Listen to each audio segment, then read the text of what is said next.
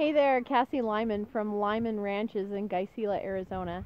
And right this very minute, we are out gathering our cattle and moving them to their summer range. We're in an extreme drought here in Arizona, so we have to spread our herd out pretty good to be able to utilize the feed available. If you look how far in the distance behind me here, right on that knoll, you can see my father-in-law also bringing some cattle from that far east side.